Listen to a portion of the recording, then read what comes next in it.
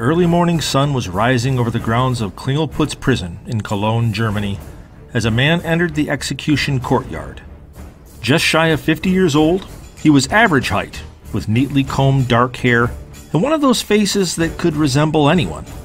In fact, if you looked hard enough, he almost resembled a far more famous German citizen, whose rise to fame just a few months later would vastly overshadow this man's crimes, effectively hiding him within the pages of history. The man's name was Peter Kürten. Flanked by the prison's priest and psychiatrist, he was on his way to the guillotine to answer for the heinous crimes he had committed over the past 17 years. Crimes which included burglary, arson, attempted murder, rape, cannibalism, and murder. The list of his victims surpassed 30 and could have been anywhere from 35 to 70. The more reads about Peter Kürten, the worse it gets. Known as the Vampire of Dusseldorf and the Dusseldorf Monster, Kürten spent almost 20 years fulfilling his deepest, darkest desires. As a child, he'd been subjected to abuse, beaten by his alcoholic parents, and forced to watch them have sex. Before he even entered his teens, he had attempted to drown one of his playmates and had befriended a local dog catcher who taught him how to torture and kill the animals he caught. At the age of 13, Kürten formed a relationship with a girl his age, though she resisted having sex with him. To channel his sexual frustrations, Kürten resorted to bestiality with local farm animals. Worse, he admitted to mutilating the animals in an effort to achieve an orgasm. Unfortunately for him, he was forced to end his behavior when a local noticed him stabbing a pig. In the next few years, Kürten stole all the money in his household and ran away from home. Began a relationship with a prostitute two years his senior, and claimed that she willingly participated in acts of sexual perversion and spent a month in jail for petty theft and four years in prison for fraud. In 1904, Kürten was drafted into the German army, though he soon deserted. He began committing acts of arson, watching from a distance as emergency teams arrived on the scene. Eventually, he was arrested for arson, was discovered to be a deserter, and tried by the military system.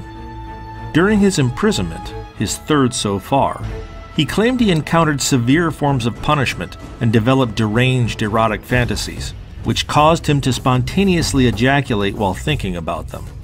Finally, in 1913, he was released from prison and moved to Mulheim am Rhein.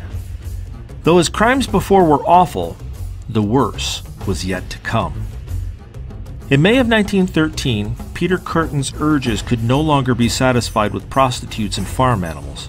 His time in prison hadn't deterred him from committing any kind of crime, and shortly after his release, he burgled a home in his neighborhood. While inside the home, he happened upon the homeowner's nine year old daughter. Overcome by the erotic fantasies he had thought up in prison, he strangled her and slashed her throat with his pocket knife. Upon hearing the girl's blood drip to the floor, he ejaculated. The next day, he returned to the scene, to a tavern across the street. Hearing the locals talk about his crimes was something of a high for him, and he reveled in hearing their reactions. Over the next few months, again overwhelmed by the need to see the effects of his crime, he would visit the girl's grave and touch the soil under which she had been buried for sexual satisfaction. Two months after killing the young girl, Peter Kürten committed the same crime, this time burglarizing the home of a 17 year old girl. As he had before, he strangled the woman and ejaculated at the sight of her blood. Though he intended to continue his spree, he was fortunately arrested for arson and burglary later that year. He spent eight years in a military prison in Brieg, Germany, before being released in April of 1921. Upon his release from his fourth period of incarceration, Kürten became engaged to a woman named Auguste Scharf, a shop owner and former prostitute. It was also a match made in heaven, as Auguste had previously been accused of fatally shooting her former fiance, whom Kürten had previously posed as to evade arrest. However, the union was hardly a happy one due to Kürten's increasing infidelities. Upon realizing that her husband had been sleeping with not one but two of their maids, she encouraged one of them to press charges, claiming Kürten had forced her into having sex. The charge held up in court, and Kürten was sentenced to his fifth prison sentence, this time for six months. After his release, Kürten, of course, picked up his old habits. Over the course of one month, he murdered two people and attempted to murder a third, though she survived her injuries. Kürten's preferred method of torture and murder was stabbing, usually with a pair of sharpened scissors.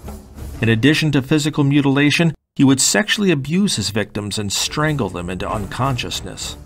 He also occasionally returned to the crime scenes to discuss his crimes with police under the guise of a concerned citizen. Over the next several months, he attempted to strangle four women, but each of them got away from him. Then in August of 1929, his killing spree reached an all time high. Over the course of the month, he murdered six people. The first was a woman he had stalked for almost a week, whose body he wished to crucify on a decomposing tree in order to cause a scene for the public. Eventually, he settled for burying her though he did follow up the murder with a detailed letter to police, including a map to her body. After writing the letter, in an attempt to throw police off his trail, he switched from his signature pair of scissors to a knife.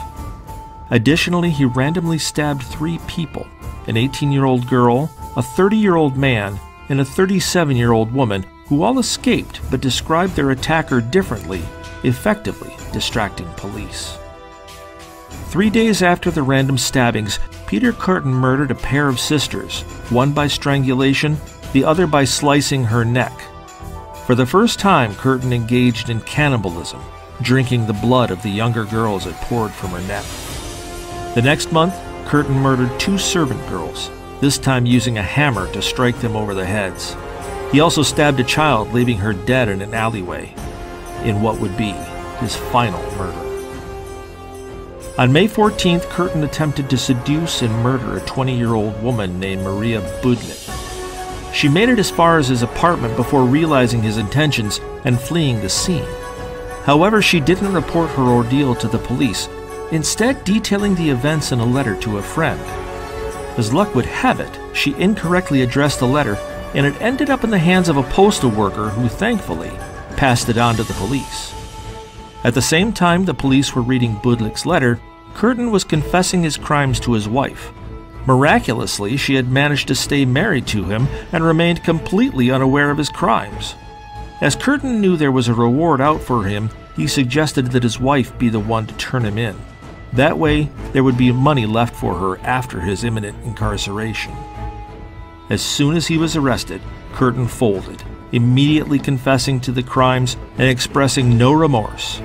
In all, he ended up admitting to 68 crimes, including 10 murders and 31 attempts. He justified the crimes, claiming that they were revenge for the horrors that life had inflicted upon him during childhood and that he was simply claiming what was due to him.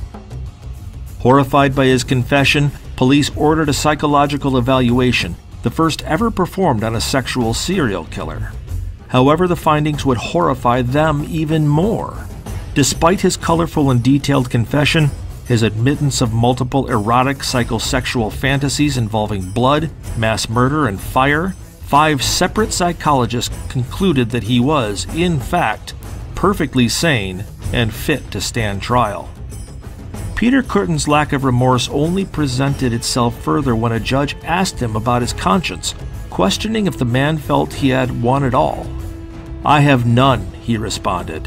Never have I felt any misgiving in my soul. Never did I think to myself that what I did was bad, even though human society condemns it. My blood and the blood of my victims must be on the heads of my torturers. The punishments I have suffered have destroyed all my feelings as a human being. That was why I had no pity for my victims. For 10 days, the prosecution and the defense argued about Kürten's motives, his crimes, his conscience, and his punishment before the jury ultimately reached a guilty verdict. He was found guilty of murder and awarded nine death sentences to be carried out by the guillotine. Upon laying his head down on the machine, he turned to the psychiatrist and asked a question. Tell me, he asked, after my head is chopped off, will I still be able to hear, at least for the moment, the sound of my own blood gushing from the stump of my neck? That would be the pleasure to end all pleasures. The executioner then dropped the blade. Following his death, Peter Kürten's head was removed for forensic analysis and eventually found its way to the Ripley's Believe It or Not Museum in Wisconsin. Doctors were sure that something must have been wrong with him for him to have been so passive regarding his crimes. Shockingly, the exam revealed nothing abnormal about him. Peter Kürten was simply a deranged serial killer, plagued with erotic visions of death, seeking retribution for a childhood lost.